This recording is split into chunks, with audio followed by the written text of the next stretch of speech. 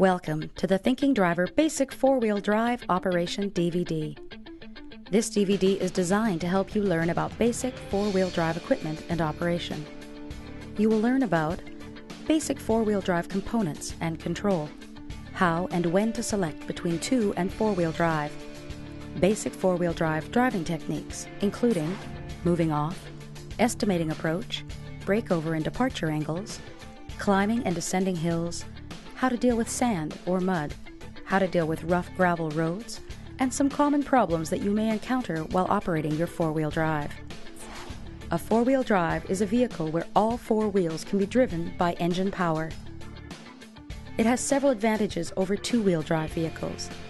Four wheel drive advantages include increased overall traction in nearly all conditions by having all the vehicle's weight over the drive wheels, improved handling, particularly over rough terrain where the steering axle can help pull the front end of the vehicle around a corner.